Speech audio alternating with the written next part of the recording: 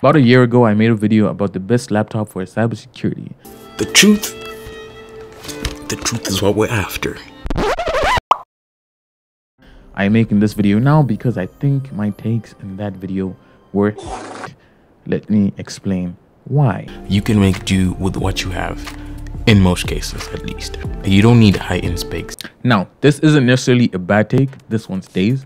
If you can't afford anything better than what you have, make do with what you have. Save up and eventually you might be able to upgrade the RAM, the storage, or just throw away the entire thing and get a new one, right? The problem with the video I made last time is that I recommended Windows laptops exclusively and that is the entire premise of this video I am doing now. Windows machines absolutely suck. Yeah, you suck. Yeah, you just suck. The bloat that comes with them, all the security issues that get you slow patches every Tuesday, the trackpads and the keyboards are ass. And the worst of all are the fans.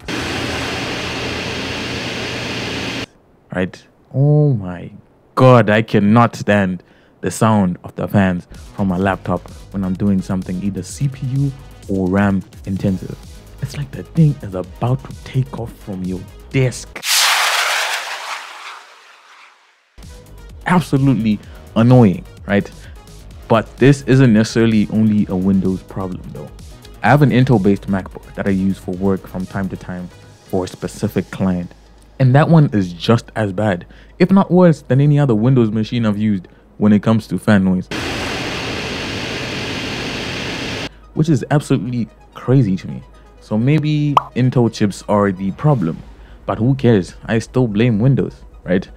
This fan issue was fixed with the introduction of the ARM-based M1 chip by Apple, right? The silicon chips that use the ARM architecture.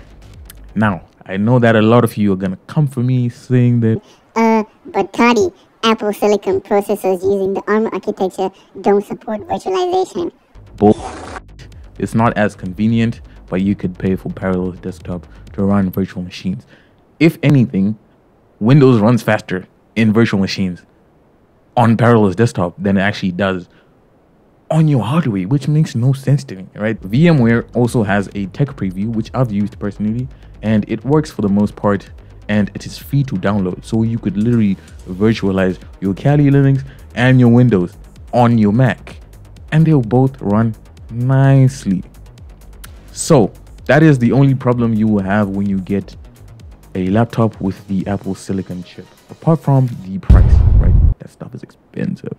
Everything else is crisp from the display to the trackpad to the lack of fan noise. The speed, the display is really nice. By the way, I don't know if I mentioned that, but you can run every program you want as well as programs you don't need. And this thing will not make any sort of noise.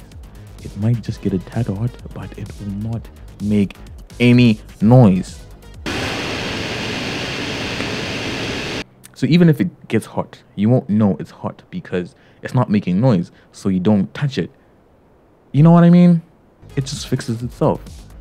Not to forget, Mac is a Unix system, so you don't have to worry about Windows CMD anymore. You can run IPA or ifconfig right in the terminal.